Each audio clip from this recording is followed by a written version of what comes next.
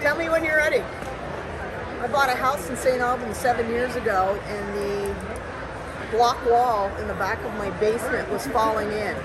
And I had gone to this exact home show and picked up one of these cards and I called uh, Matt Clark's Basement Systems. They came and they put in stainless steel I-beams and it was a two-day process. They sent a crew of four guys.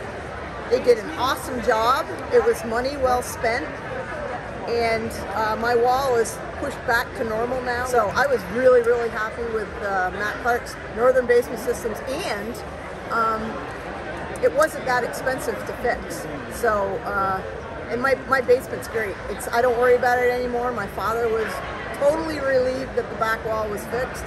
And um, that's it. Woo.